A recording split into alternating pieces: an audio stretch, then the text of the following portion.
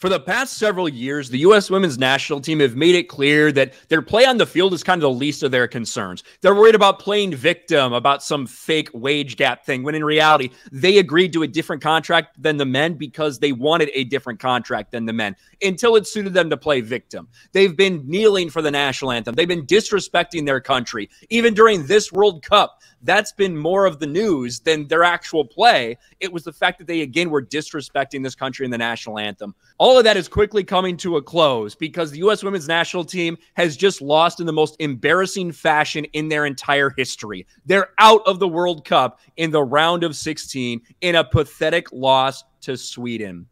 Now, this happened early in the morning. I know John Matrix was watching when it happened. It was a 0 0 game. It went to penalty kicks. And, you know, Megan Rapinoe actually had a big opportunity to save the day. This would have really put the U.S. in a commanding lead here in yep. these penalty kicks. Megan Rapinoe, she wins an ESPY. Can she win a World Cup? Rapinoe, right foots it over the bar. Wide right. she's is she smiling? She's yeah, smiling. Yeah, smiling after this. And don't worry, we're going to get to the reactions from some of these women. How Megan Rapinoe's is so much different. This is her last moment on the field, her last moment in history. That is what it was. This is the end of her U.S. women's national team career. And really, everyone's just kind of looking at this and mocking the United States because this is a team that set themselves as better than everybody else. They acted like their shit don't stink. They were celebrating a pathetic draw against Portugal. Yes. And this is what you get.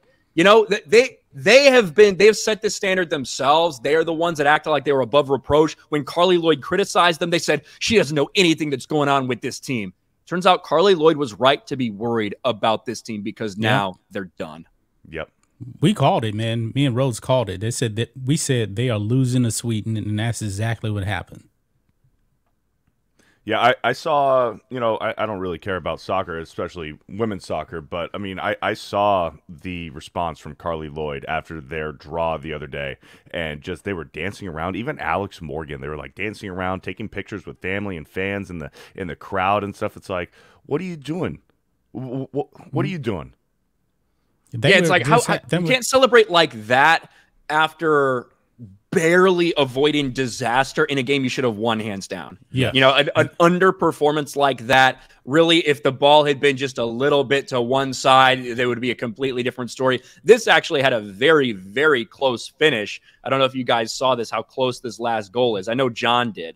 I uh, did. But uh, let's let's watch this. This is the one that decided it all right here. You're talking about a game of centimeters, millimeters.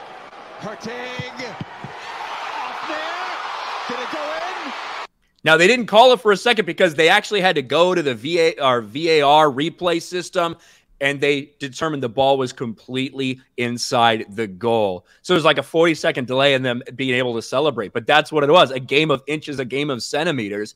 And the U.S. comes out on the wrong side of this thing.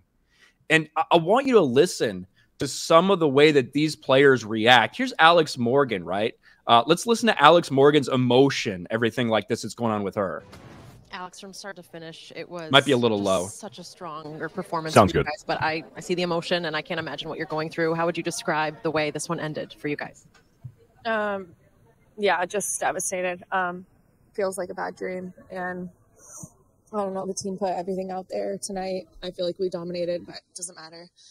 Then the day we're going home, and it's the highs and lows of the sport of soccer. Um, obviously incredibly emotional, very upset about this yeah. entire thing.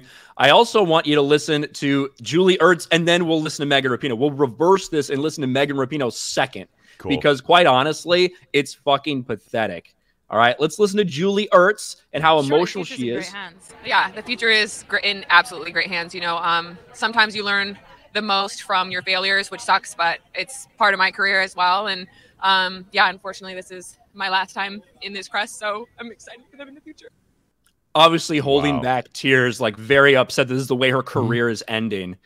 Let's listen to Megan Rapinoe. It's a it's a tough one, and there's just some some dark dark comedy in me missing a penalty in my last game ever. So yeah, because yeah, I was saying with the smile. I mean, was that just pretty much a message that that's football, that's life, things happen. I mean, that's a sick joke. That's just like Yeah, I mean that's a sick job. I just I can't believe it. I just like I never even I never even hit them over ever when they're safe. So yeah, I mean Well, you that's did. just how it goes.